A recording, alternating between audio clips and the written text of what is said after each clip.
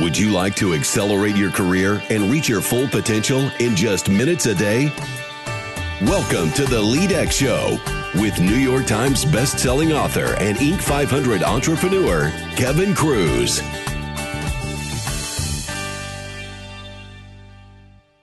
What are the five secrets to unleashing the genius in others? Hello, everyone. Kevin Kruse here, helping you to achieve your full potential five days a week. And in just a minute, we're going to talk about how the best leaders make everyone smarter. But first, don't forget to visit leadx.org. You'll find hundreds of articles from dozens of the best business and career writers out there. And sign up for our quick read newsletter, which is packed with actionable tips you can try out right away. That's leadx.org. Our guest today worked for 17 years at Oracle as the vice president of Oracle University and as the global leader for human resource development. Today, she teaches leadership to executives and emerging leaders around the world, including clients at Apple, Disney, Facebook, Google, and Twitter. She's been listed by the prestigious Thinkers 50 as one of the top 10 leadership thinkers in the world. Her best selling book is Multipliers how the Best Leaders Make Everyone Smarter. Our guest, of course, is Liz Wiseman. Liz, welcome to the show. Thank you, Kevin. I'm, I'm delighted to talk with you. Oh, I'm excited, and we're going to talk about multipliers in just a minute. But first, will you share with our listeners a time when you failed, maybe early in your career? And what was your lesson? What did you learn from it? Well, you know, if we go back, if we go back to the really early days of my career, you mentioned that I started my career at Oracle, and so I I came out of business school. I joined a software company, and it was all about the technology. And I had an epic fail in my first couple of weeks. We went through this new hire boot camp program, and our main job in this boot camp program was to learn how to how to code. And I mean, I had taken a Fortran programming class in college, but it was my lowest grade I ever got. So this was kind of a, it was, but somehow they hired me anyway, and I get thrown into this coding camp, and it culminates in a couple big projects. And one of them was every one of the students, all these new hires, all coming out of school, most of them you know, with advanced degrees in computer science, and then there's me with my business degree. We had to build uh, an application. But this wasn't an app that, of course, ran on a, a phone. It was an application for some um, business. So we have to build this with Oracle software. We build it, we demo it. It's kind of our graduation project. It's sort of high stakes. We've got these um, judges that are managers out in in the company, and when it's time for me to do my demo, I get up there, I've built this demo, I practice my script, I get up to deliver it, and I pull up my, my application. So I log in, pull up my file, I start to demo this piece of software, and it's not looking like it's supposed to look. And it's not looking like anything that I've built. It's not looking like anything familiar. And I'm just watching like the air in the room get sucked out. And everyone's looking at me because they realize I don't even know what's going on. And what had happened is this wasn't my application that I built. Now, I don't know what's gone wrong. I just know something's gone wrong.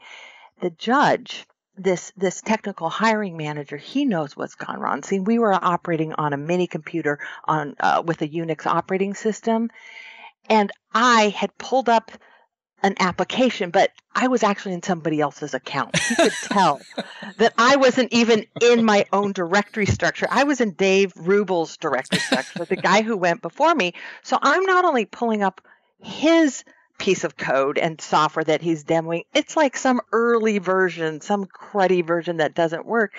And here's what I learned from this experience because uh, Bob McCormick was his name, and Bob looks at me, and this was supposed to be this like boot camp kind of ruthless experience, and I knew that I had really screwed up big time, and I was waiting for him to just like fillet me, and I, I was I was ready to go down, and Bob McCormick.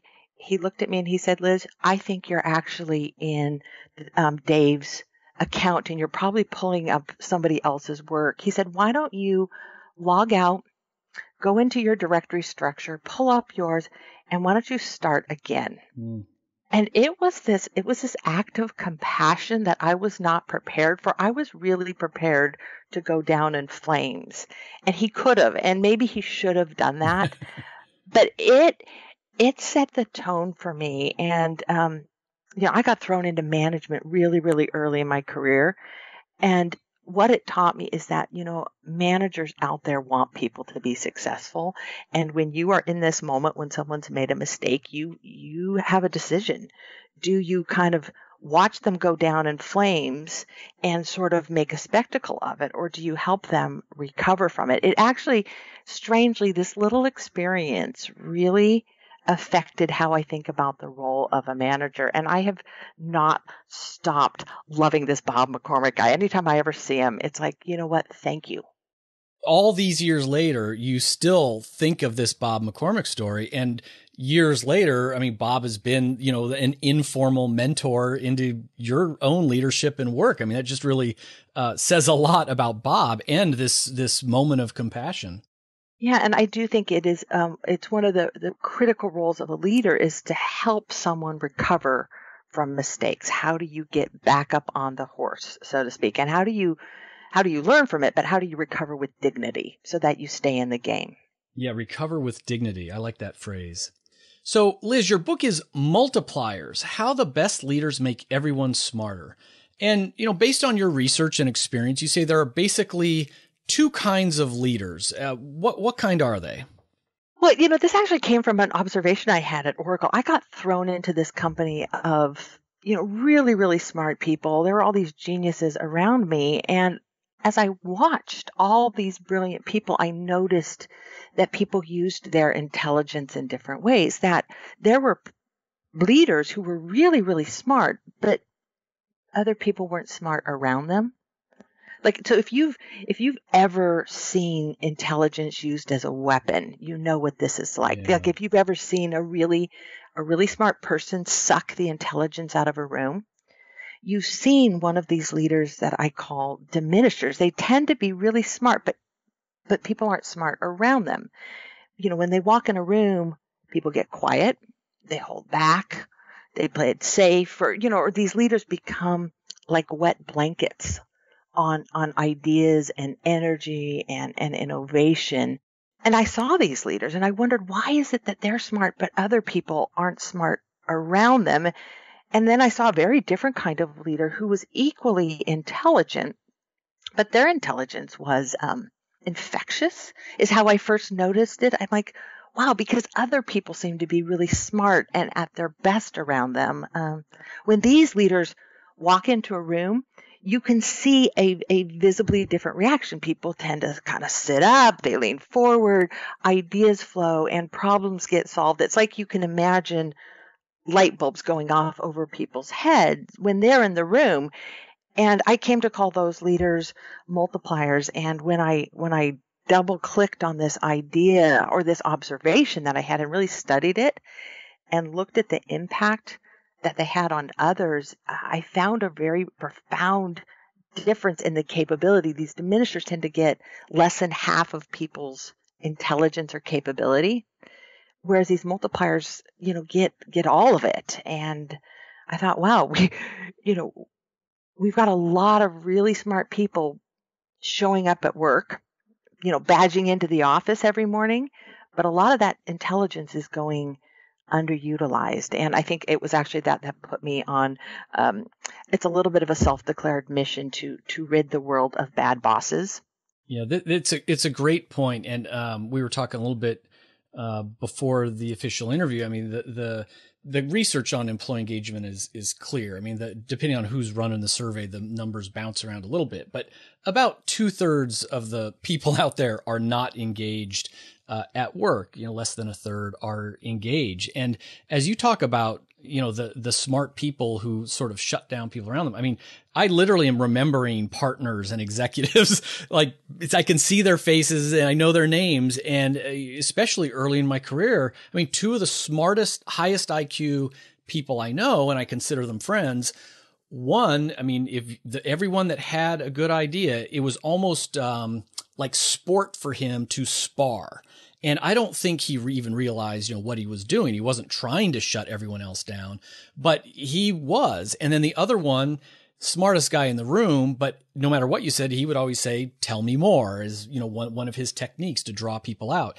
And it's that IQ both sky high and yet one had very poor performing teams and people who couldn't wait to get off of his teams. And the other was a, a real talent magnet. So I like that diminishers and multipliers.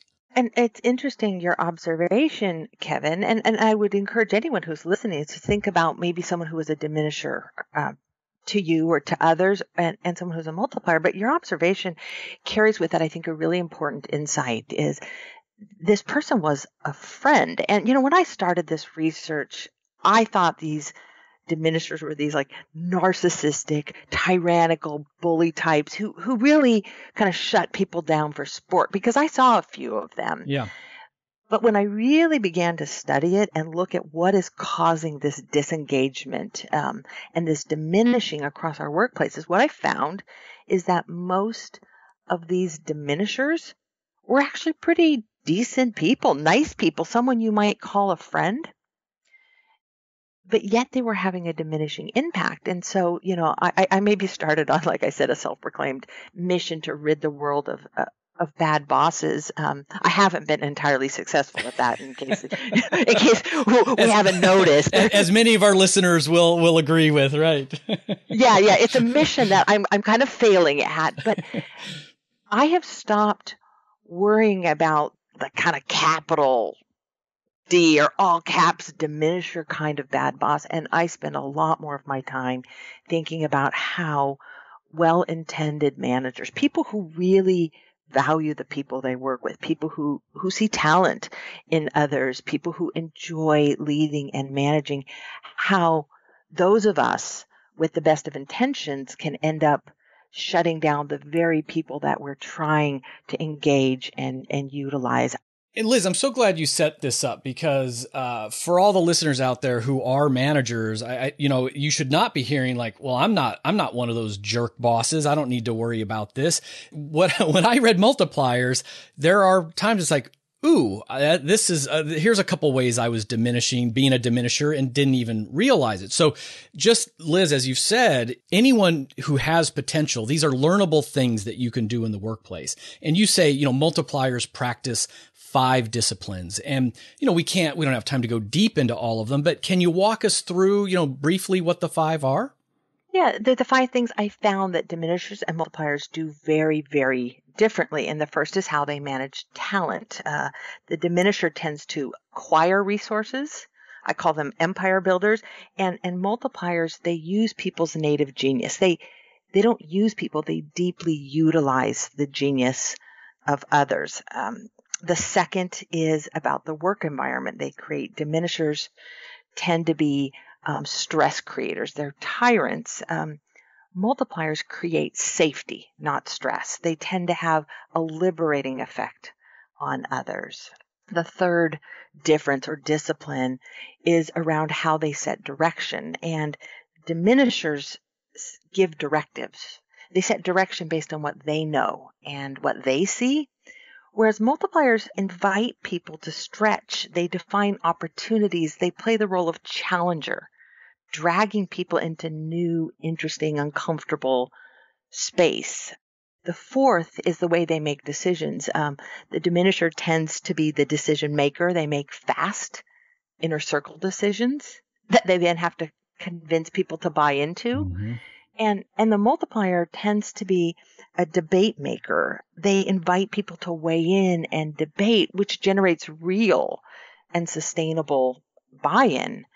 And the last major difference I noticed is how they, they drive for results. And, you know, the diminisher tends to be the micromanagers. They jump in and out. They're like bungee boss. And where the multiplier, they're an investor. They give other people ownership and all the accountability that comes with it. And we found that these multiplier leaders, they're not just engaging, empowering, trusting, supportive kind of leaders. like that Bob McCall moment that I had early on where he's like, okay, Liz, I'm not, I'm going to help you recover. they're actually leaders with a hard edge. They, they challenge, they hold people accountable, they have high expectations. And it's why people give so much to these leaders. Um, it's because they demand so much from the people around them. Yeah, and this last point, Liz, I mean, I think that's a common misconception is uh, whenever leadership gurus start talking about employee engagement or modern day leadership, I think a lot of people think, oh, you're talking about, you know, being a nice boss or a soft boss or something. And it really isn't the case.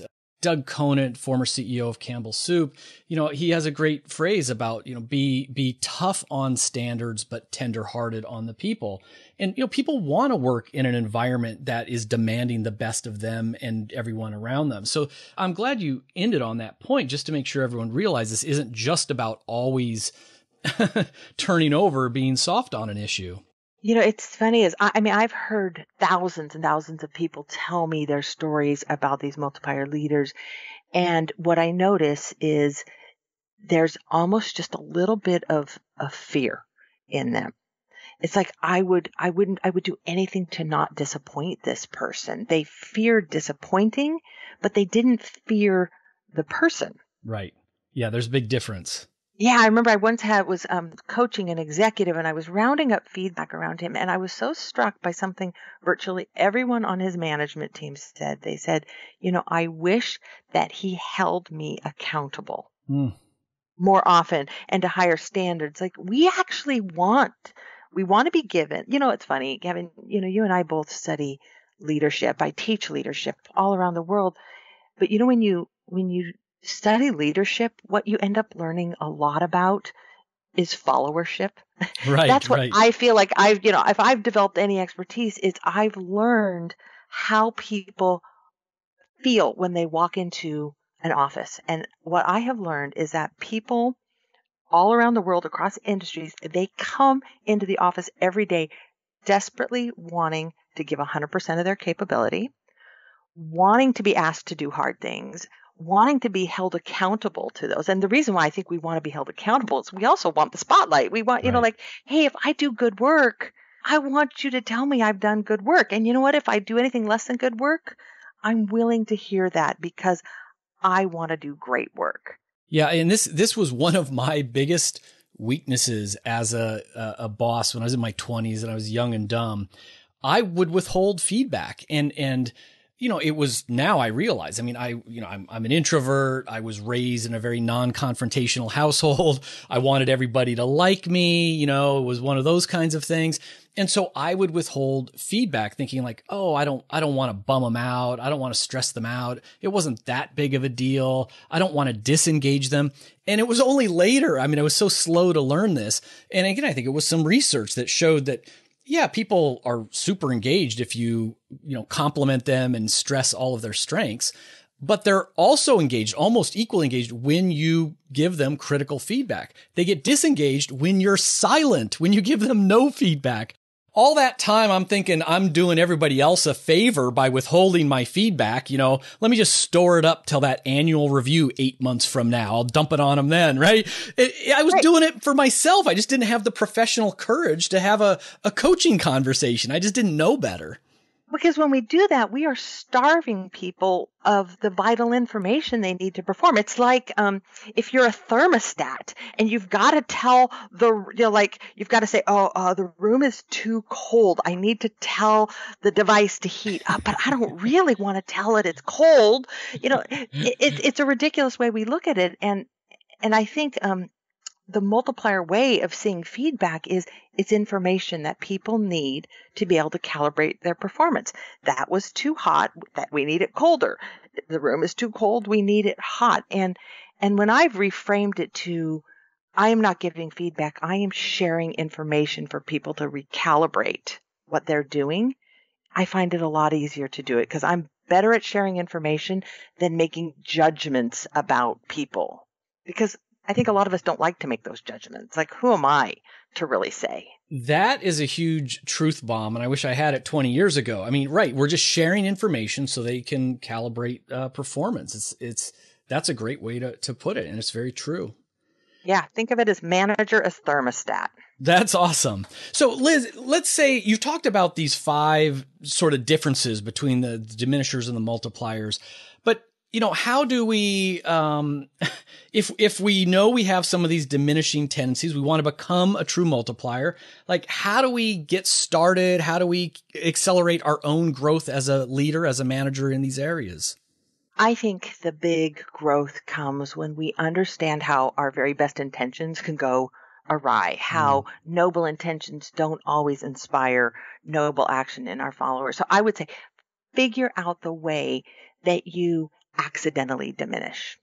Uh, you know, I'll, I'll, I'll spout off a few ways that I tend to accidentally diminish. I'm a bit of an idea guy. I love the world of ideas. I love creative, you know, innovative environment. So I'm always tossing out ideas. And you can imagine what it does to the people around me as they're chasing these ideas, eventually uh, d- developing a case of apathy because we don't go anywhere with these ideas. Liz is just in love with ideas. And I've learned, you know, when I'm about to spout an idea, when my idea guy comes out, I, I ask myself a simple question Liz, do you want your team to stop what they're doing right now and work on this? And the answer is almost always no. Um, so I've learned to temper this, or mm-hmm. you know, I've I've got an overabundance of optimism, and you know, some ways that makes you know for a very useful senior management trait. But you know, an optimist can be extremely annoying to the people around them. One because they look like they've lost their tether to reality and they're kind of lost in space. But what optimists often overlook is is the struggle right. the challenge, the part of work that is messy where we're learning and we're grappling and we logged into the wrong Unix account and we've made mistakes because an optimist is like, hey, how hard can it be? It's all going to be great. And I've learned that that actually is, is diminishing. And I've learned to spend more time signaling the struggle. Like, wow, what we're doing is hard. You know what? We're probably going to make some mistakes here. What you pointed out with these personal examples is you know, sometimes we are the accidental diminisher. It, it's the flip side of one of our strengths or a couple of our strengths. It's too much the other way, right? Oh, absolutely. You know, it's, you know, uh, someone who leads by example can very easily become the pace setter who mm. creates more spectators than followers. The the perfectionist, you know, has high standards of excellence, but other people see their work being critiqued. Um, if you want to figure out a few of the ways that you might accidentally diminish. We have this this quiz, and I'm really sort of embarrassed and proud of this quiz. When I first um, did this research and wrote the book Multipliers, I had I had created this rigorous 360 assessment to test the presence of multiplier behavior and diminisher behavior. And my publisher said, she said, why don't you create like a little quiz, like a Cosmo quiz? Right, right. I thought, I said, I will have nothing to do with a Cosmo quiz. Like, no, never, end of conversation. Well, you know what? I sat down and wrote this little quiz. This little quiz has been so helpful to so many people. It's a 10 question quiz, and there are 10 different ways that we can accidentally diminish. It takes like three minutes to take it. And and I had to kind of swallow my pride on this because this little quiz has been so helpful to so so many of the you know by hundreds of thousands of people. So there's a little quiz out there. It's on multipliersbooks.com. It's fast, but it'll help you see how maybe your best intentions could actually be shutting down people rather than engaging and emboldening uh, the people around you. That's great. And Liz, say that say that URL one more time just to make sure everybody got it. Multipliersbooks.com. Perfect. And of course, we'll put that in the show notes as well. So I, I think everybody, once we're done with this interview who's listened, they're going to go out to multipliersbooks.com for the quiz. your, your version of the Cosmo quiz. Oh, Sounds fun. I probably should not have used the term Cosmo quiz because I think everyone's going to be woefully, um, underimpressed with the quiz now. it has no Cosmo qualities to it. But but give us one more challenge because I always tell our listeners like I want you to get one percent better every day. So give give them something else really practical that they could try today. Well, I'm gonna I, I'm gonna share two. One is just a reflection, and and one is something you can do. I I think the important reflection is not only understanding how we can diminish accidentally, but understanding the situations that bring out our inner diminisher. You know, what we find is that there's a lot of people who who are like, wow, I'm a multiplier most of the time, but then boy, there's certain situations. Understand what what situations bring out your micromanager, your tyrant. Um, for me, it's probably stress, tight deadlines. Um, understand what those situations are and have a game plan for what's going to happen when you get into a crisis and how do you get through that and get back to more of a multiplier stance. That's one thing you can do. And here's here's a very very simple but hard. Did you see me signaling how hard it is? Um, a simple but hard thing that I think just kind of propels people into multiplier mode, and that is moving out of the mode of telling and operating in the mode of asking. It's learning to embrace the question as the key tool in, in our management toolbox. Um, you know, I think the best leaders tell less and and they ask more. Uh, they ask more questions. They ask better questions. They ask more from the people around them, and and it's why they get more. It's because they they ask. And um, I've seen, boy, I've seen um, managers sort of grow into this mode over their career, kind of through that slow, gentle, real learning. But I would encourage you, if you're listening right now, to take what I call the extreme question experience, which is a radical shift. And, and the extreme question challenge is could you lead a meeting, a conversation, um, troubleshoot an issue, and all you do is ask, meaning you don't say anything like, oh, I agree, that's a good idea. All you do is just ask question after question after question. Um, you know, I stumbled into this when I was having trouble with the bedtime routine at home, and I'm like in the bossy mom mode. Kids, kids, go to bed, put it away, quit playing, leave her alone, get your pajamas on, go brush your teeth, go, you know, get go to bed, back to bed. You know, no, no more stories, books done, say your prayers, and you know, and I'm in this tell, tell, tell, tell mode, and it's not working very well. And and it was actually a colleague of mine years ago, so probably 14, 15 years ago, who gave me this challenge as this mom of a six, four, and two year old, he's like, well, why don't you try just asking your kids questions? And and Kevin, it it changed. You know, this little exercise changed me forever. Wow. As a parent and as a leader, because suddenly I can't tell them what to do. I've just got to ask the questions that help them figure out what has to get done. And, you know, it shifted from utter chaos to actually this sort of challenge. And, you know, some people will will take this challenge literally trying to get their kids to bed and I've had people say, "Wow, it's like changed our our family dynamics." But I'd encourage you to take this challenge at work, maybe lead a staff meeting, a touch base meeting with someone, and all you do is ask. It's hard, but done once or twice, I find it shifts the way we think about our role and it shifts do we do we pull towards telling or is our pull toward asking like tell me more? Right. Maybe to your point that boss that you observed kevin is maybe that's the simplest shift is to shift from telling to just saying tell me more and i find that it's probably the most profound shift that a leader can make to not just use the intelligence in their own head but the true intelligence and capability of their team so i'd give you that challenge I love it. A great challenge and a great reminder. Uh, I often tell people that the, the best of what we know about leading wholeheartedly at work also applies to every other area of our life as well. And you, you brought that home with the example with your own children. So Liz, you mentioned already the uh, URL for the quiz. How else might our listeners uh, find out more about you and your company? Well, our company is named very uncreatively, the wiseman.group.com, or I'm out there on Twitter at Liz Wiseman. And also, uh, I've got a new edition of the Multipliers book coming out in May, and I'm actually really excited about this because there's two and a half new chapters. The half chapter is just kind of making better a chapter that already existed, but there's a whole chapter on our accidental diminisher tendencies, and I'm excited about that. But I'm really, really excited about a new chapter and it addresses the number one issue I've heard from people over and over and over. And it's not, gee, Liz, how do I be more of a multiplier? I have heard from thousands of people who have just said, how do I deal with the diminishers mm, in my life right. at work? And so I actually really dug in and did a lot of research on this uh, and have a chapter on dealing with diminishers. And uh, what I will say is that the strategies that people are employing today to deal with jerk bosses or even accidental diminishers aren't working. And the, the most used strategies are actually what I found the least effective. And what you'll find in that chapter is uh, I think there's 13 strategies that actually really do work and change a diminishing dynamic um, into one that's more multiplying. Um, because diminishing, I find it's prevalent everywhere, but it's not inevitable. There's actually a lot that we can do to come into work saying, you know what, I actually want to give 100%.